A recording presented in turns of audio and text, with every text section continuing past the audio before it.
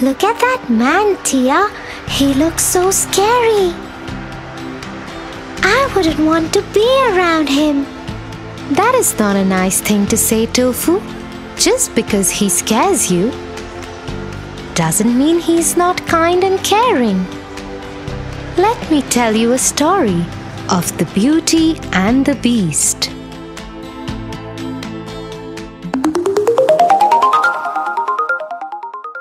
The Beauty and the Beast.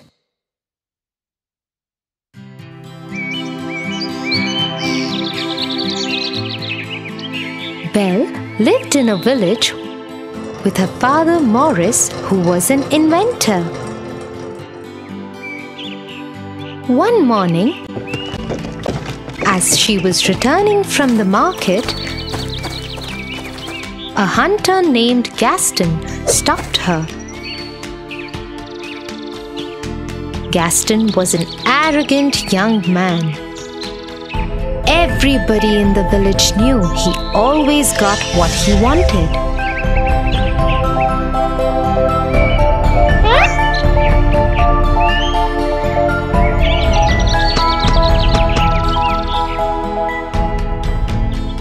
But no one ever dared stand up against him because his father was the village head. The only person who paid no attention to Gaston was Belle. But Gaston was obsessed with her and wanted to marry her. Belle, let me walk you home. Oh, Gaston, N- no, thank you. I can go home myself. I insist. I have to talk to your father about something important too. Belle continued walking, ignoring Gaston, who started walking with her.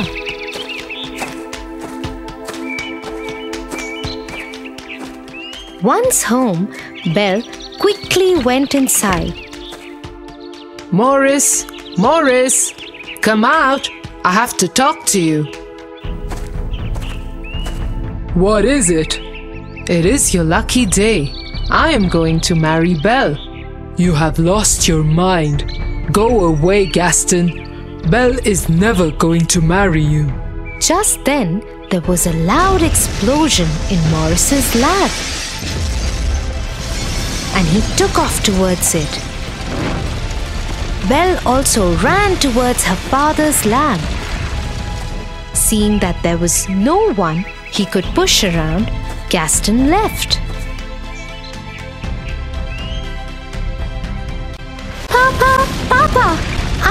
Are you? I have done it, Belle. My experiment was successful. I am leaving for the fair in the nearby village immediately. You will see, my child, people are going to love this. And so Morris leapt on his horse Philip and rode off.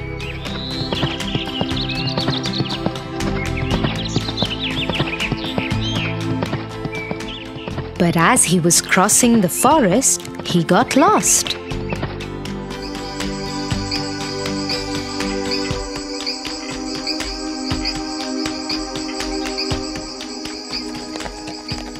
After a few hours, Philip and he landed in front of a huge, lonely castle. There was no one in sight, so Morris tied Philip to a pole at the entrance and went inside the castle. It was pitch dark inside. A few candles were lit in the corners. Hello? Is anyone here? I am lost. C- can you help me? A large shadow came across the wall. As it came into light, Morris saw that it was not a man, but a huge, angry beast with an ugly scar across his face. How dare you enter my castle? You need help? I will help you. I'm sorry. I, I will leave immediately. And Morris started running back the way he had come. But the beast caught him and started dragging him. He took him down the staircase and locked him in the dungeon. Please, please let me go. Please let me go. You will stay here forever. This dungeon is your world now.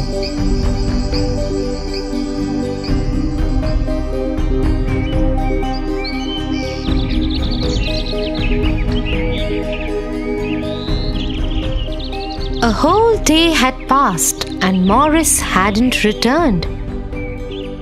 Belle got worried and decided to go to the nearby village to look for her father.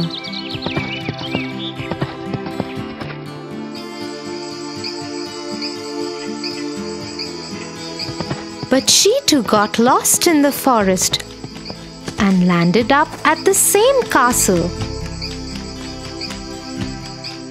Philip was still there, tied to the pole. Belle decided to go inside, just in case her father was there. Hello? Papa? Anybody here? How dare you enter my castle? Get out right away before I lock you in the dungeon too. Suddenly, the beast moved out of the shadows and stood in front of Belle. She was terrified of him, but dared not run. Somewhere from far away, she could hear another voice. It was her father. Please, please let me go. Let me go, please.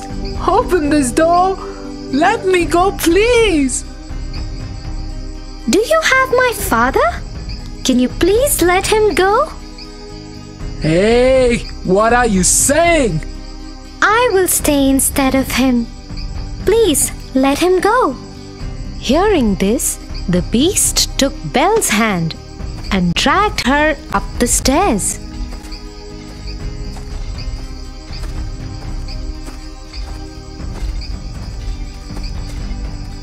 He led her into a huge room. So be it. Your father is free, and you shall be my prisoner forever. And so it was. No matter how much Morris protested, the beast threw Morris out of the castle and into the forest with Philip.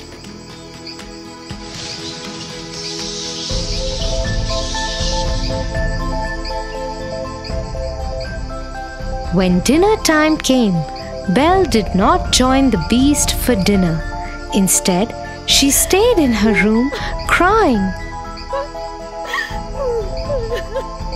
The beast entered her room and said, If you are going to stay in this castle, you have to follow its rules. You are expected at dinner. Don't you dare miss it next time. You are a monster!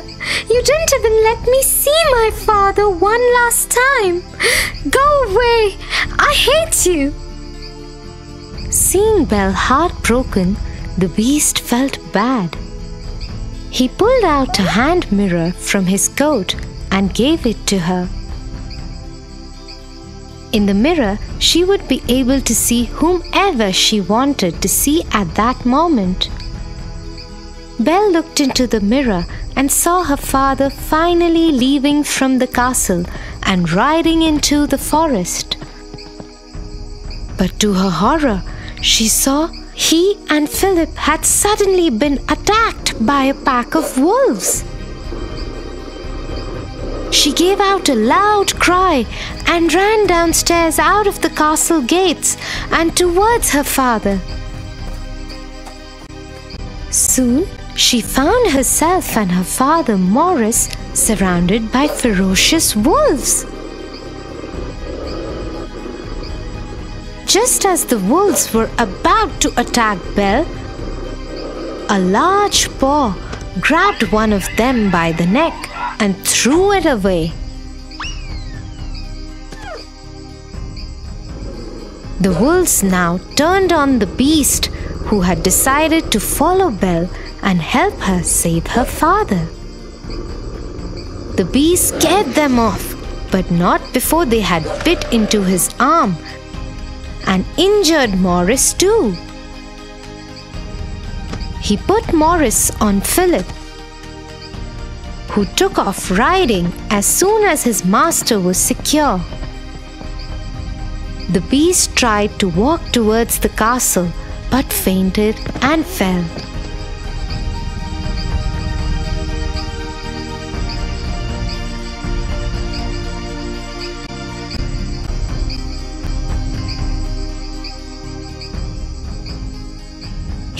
Up two days later to find Belle sitting by his bedside in his room. The wounds on the arm had been bandaged. You. you didn't go? You are awake. I hope you're feeling better. Thank you for saving our lives. Over the next few days, Belle nursed the beast back to health.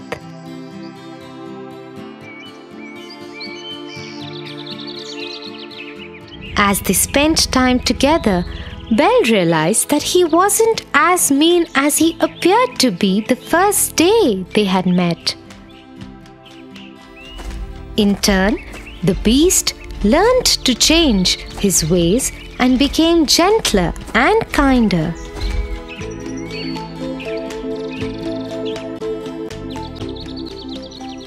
Soon they became very good friends. One day, Belle asked the beast if she could see her father in the mirror. The beast agreed and gave her the mirror. In the mirror, Belle saw all the villagers storming her house. They thought that Morris had gone mad and wanted to send him to the doctor. Nobody believed him when he kept insisting that Belle had been kept as a prisoner by a beast. Worried about her father, Belle requested if she could go to the village for a day just to save her father. And though the beast knew that she might never return, he agreed. Go, but take this mirror with you in case you ever want to see me.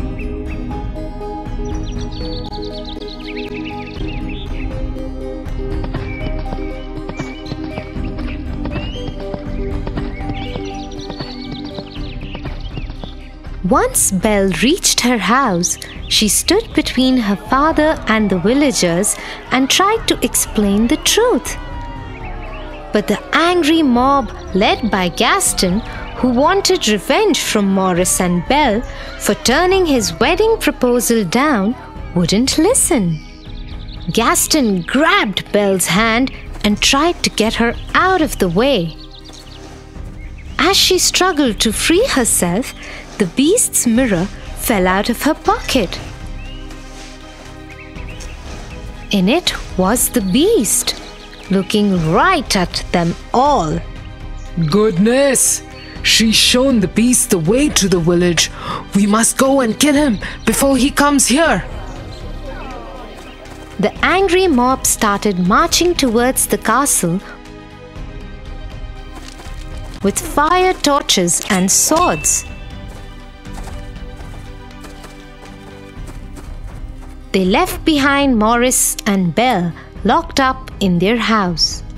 Soon they stormed the castle gates. Gaston went upstairs and challenged the beast to a fight.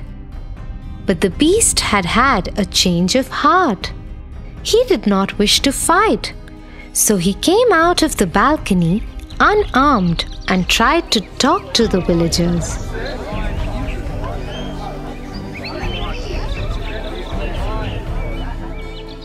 But Gaston wouldn't have it. He wanted to kill the beast and so he attacked him. His sword pierced through the beast's stomach. Shocked, the beast swung his arm to protect himself.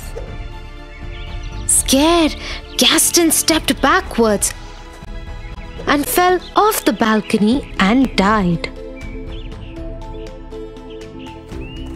Somehow, Belle had escaped from her house.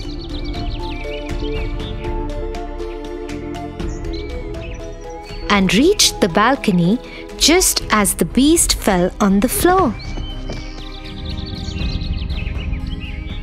I, I, I love you, Belle. I love you too. Please don't go. Suddenly, the castle lit up with thousands of candles as Belle still lay crying by the beast. He turned into a handsome young prince. Belle, it's me. You freed me from the witch's spell. To break the spell, I had to love and win the love of another.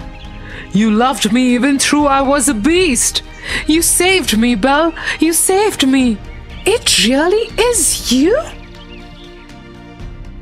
As they hugged each other, they saw the rest of the castle and the forest bloom with beautiful trees and flowers. So you see, Tofu, you should never judge people by the way they look. I'm sorry, Tia. I will always remember this now.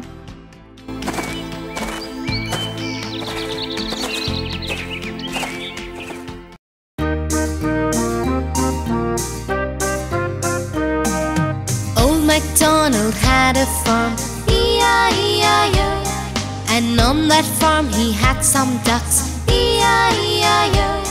With a quack quack here and a quack quack there, here a quack, there a quack, everywhere a quack quack. Old MacDonald had a farm, E-I-E-I-O.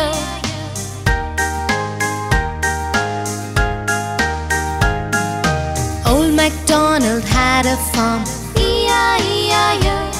And on that farm he had some pigs, E-I-E-I-O.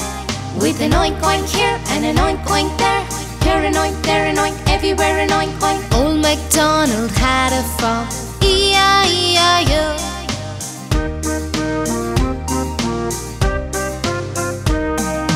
Old MacDonald had a farm, E-I-E-I-O.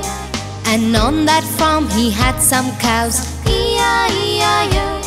With a moo moo here and a moo moo there, here a moo, there a moo, everywhere a moo moo. Old MacDonald had a farm, E-I-E-I-O.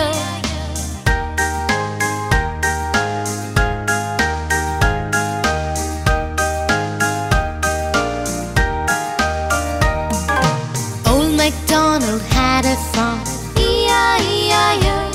And on that farm he had some dogs, E-I-E-I-O. With a woof woof here and a woof woof there, here a woof, there a woof, everywhere a woof woof. Old MacDonald had a farm, E-I-E-I-O.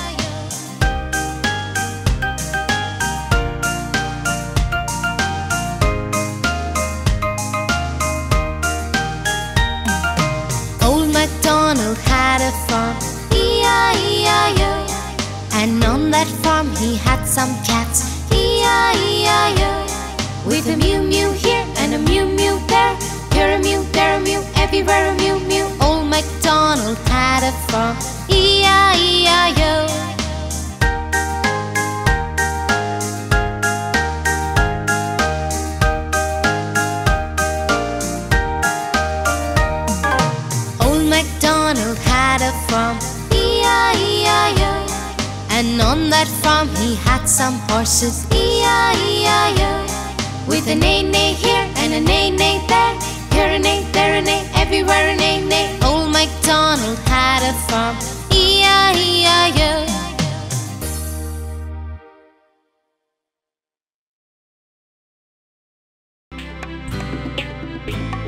For your favorite rhymes, stories, and more, join Kids Hut family. Subscribe here.